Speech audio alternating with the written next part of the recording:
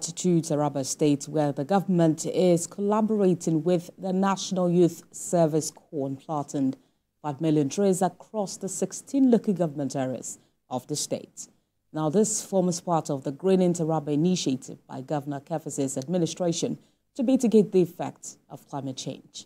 Senior reporter Wulabi Adinisi filed in this report.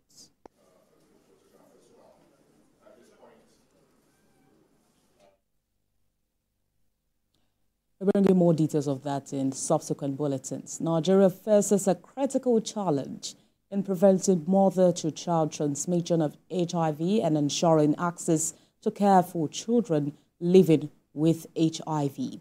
The Minister of State for Health and Social Welfare has now established a national committee on the prevention of mother-to-child transmission. This is in order to accelerate the existing scale-up plans and achieve substantial progress in the HIV and AIDS response in the country.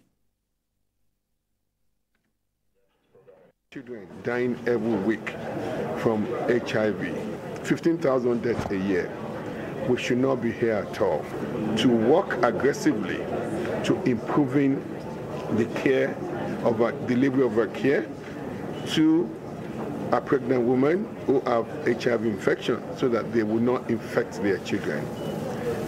One, as one of the several things we're doing, is the launching of this accelerator program, which is an encompassing uh, committee.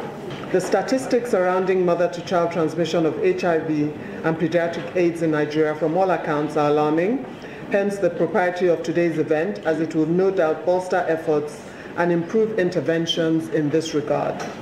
Also, the strategies laid out in Nigeria's Global Alliance to End AIDS in Children Action Plan are both necessary and timely.